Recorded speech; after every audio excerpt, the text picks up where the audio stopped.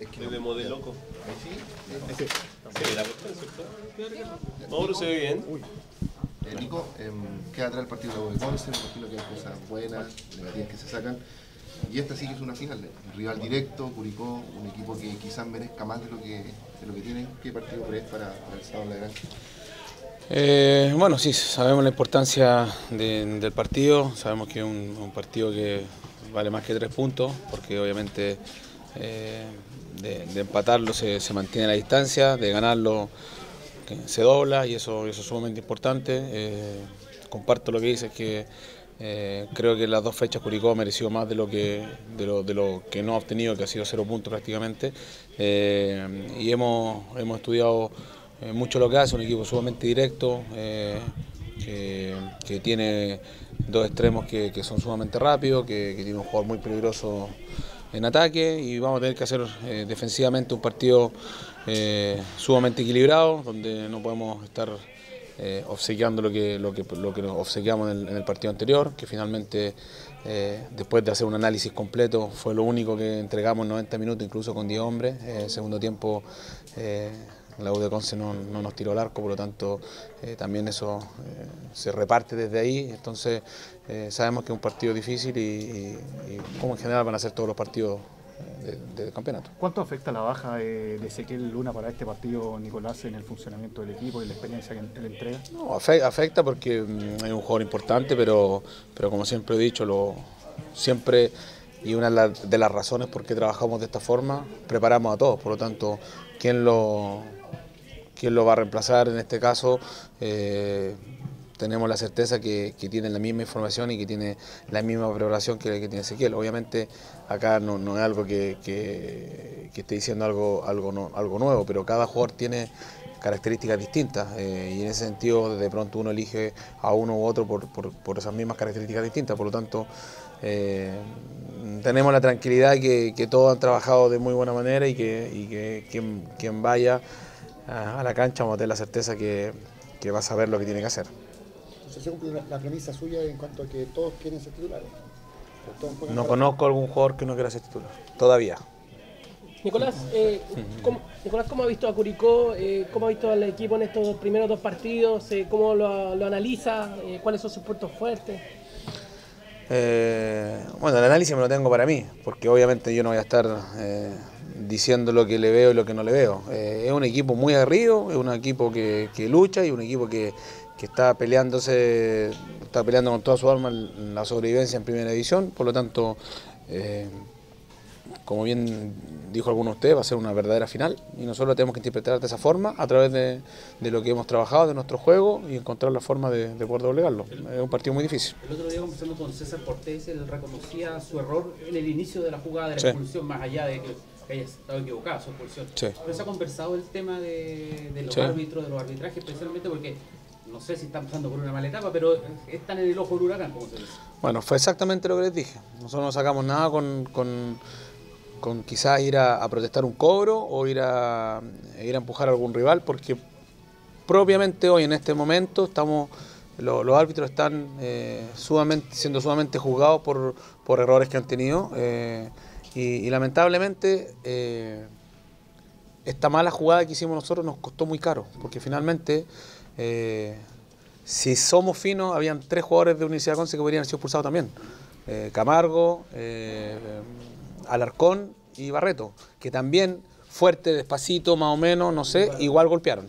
Por lo tanto, pecamos, pecamos gravemente, lo hablé con, sea con Ezequiel, sea con, con, con César y con todo el plantel, que no quiero más este tipo de conductas, porque finalmente nosotros teníamos un córner a favor, nos fueron a provocar y lograron lo que quisieron. Por lo tanto, eh, nosotros no estamos en condiciones de dar ningún tipo de ventaja. Por- no está en condiciones. no estamos en condiciones de dar ningún, comparto absolutamente, por lo tanto, eh, ellos saben que, que cometieron un error, eh, se habló internamente el primer día de la semana y, y el mensaje ha sido reiterativo, o sea, nosotros nos tenemos que dedicar a jugar fútbol, que es lo que entrenamos finalmente. Que esos primeros 45 minutos hizo el Camarín perdiendo 2-0, porque se asume, como usted bien lo dice, en el análisis completo del partido, era al menos parejo el, el partido, pero con uno menos se, se desniveló mucho, ¿no?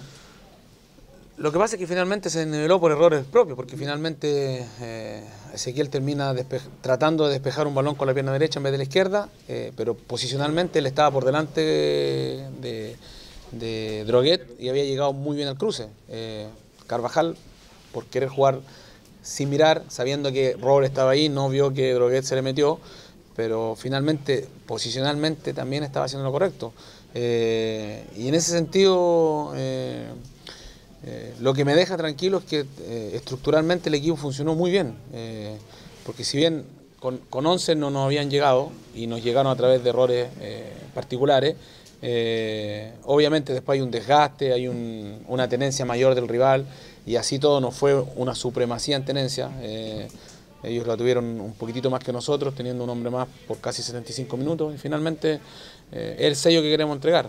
Cuando también no se puede jugar por, por determinadas circunstancias, también hay que entregar de lo otro. Y creo que el equipo en segundo tiempo, eh, la verdad que tuvo un despliegue, sobre todo físico, sobre todo mental, para poder llevar el partido lo más adentro posible, que fue lo que yo les pedí en el entretiempo. Ahora se ha conversado que para, para Wanderers es una final, pero para, para Curicó también lo va a hacer. O sea, que es una final, cuando es final, es final vamos, si eso no, no, no sale de- del contexto que, va- que va a ser. Eh, ellos están jugando su, su, su permanencia y nosotros somos el rival que tienen más cerca. Por lo tanto, tienen un partido en su casa y va a ser una final. Ellos lo saben, lo hemos conversado.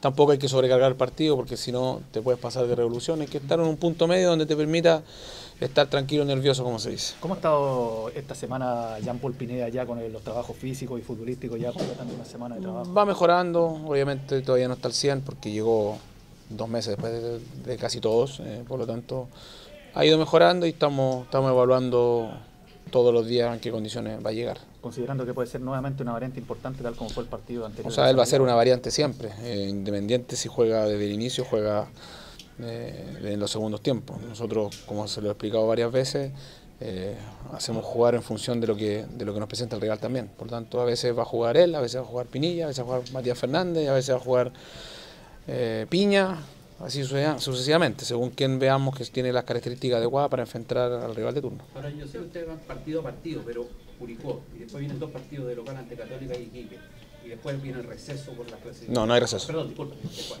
Pero después del partido con... Esos tres partidos los que vienen ahora. Son cuatro. Sí, pero estos, esta seguidilla de partidos son claves para que Santiago Wanderers definitivamente empiece a despegar. El campeonato termina el 10 de diciembre y nosotros tenemos que sacar un punto más que el rival que tengamos por debajo el 10 de diciembre. Por lo tanto, lo que pase ahora no va a determinar nada. Sí, tenemos que sumar puntos y eso... Pero- eso Pero, los tres puntos en Curicó. Y se asume que... es que no, no voy en base a ganar tres puntos porque eso es, de- es demasiado ambiguo. Yo no puedo decir, ya, voy a ganar los tres puntos en Curicó y después los pierdo con este y después los gano allá. Los partidos se te presentan porque, claro, uno nosotros preparamos los partidos para ganar. Eso sin duda. Y preparamos toda la semana en función de cómo ganarle a un rival. Independiente que sea Curicó, independiente que sea Colo Colo, independiente que sea quien sea. Eh, pero los partidos son muy circunstanciales. O sea, nosotros no esperábamos eh, a los 12 minutos tener un expulsado, no esperábamos a los, a los 20 que se nos fuera un penal, no esperábamos que nuestro central en vez de despejarla la tratara de controlar y, y que el partido de todas formas estaba controlado. Uno no espera, uno es, mu- es muy, es muy difícil poder eh, pensar que tú puedes ganar y hacer una planificación en base a resultados, porque el resultado es algo intangible, tú no, no lo tienes.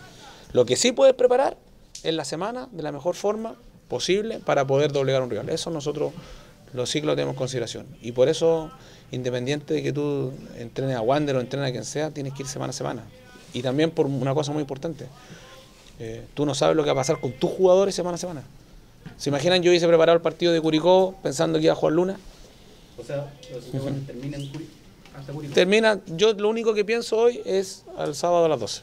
Del sábado a las 2 y media, cuando termine el partido, voy a pensar lo que hice bien, lo que hice mal, y empieza Católica.